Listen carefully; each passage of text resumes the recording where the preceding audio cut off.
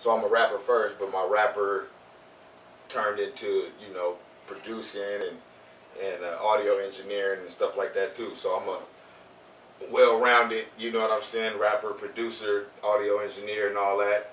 Um, and so yeah, so uh, and then right now, uh, just like I've been doing for the you know past years that I've been doing this project is called Young Legend OG, but I did a, a mixtape to promote the to promote the, the actual album and called that the YLOG Freestyles. Okay. And and, and uh, I put that out for free. You know what I'm saying? It's just just just me spazzing out over Right. over uh, some of the most classic shit that I wanted to that I wanted to jump on. So um, Okay.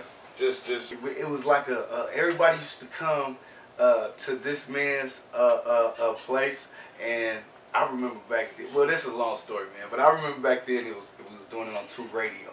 yeah You know what I'm saying? We record Yeah. tape to tape. yep. You feel me? And we there was no going over and none of that Yeah, shit. yeah, it was, yeah. It wasn't no, it wasn't. If you messed up, it wasn't no stop and punch Right. in. If you messed up, you had to go all the way back and do it over. So yeah, just just giving y'all a little history. We go back. That's like the beginning, beginning. We, you know, we.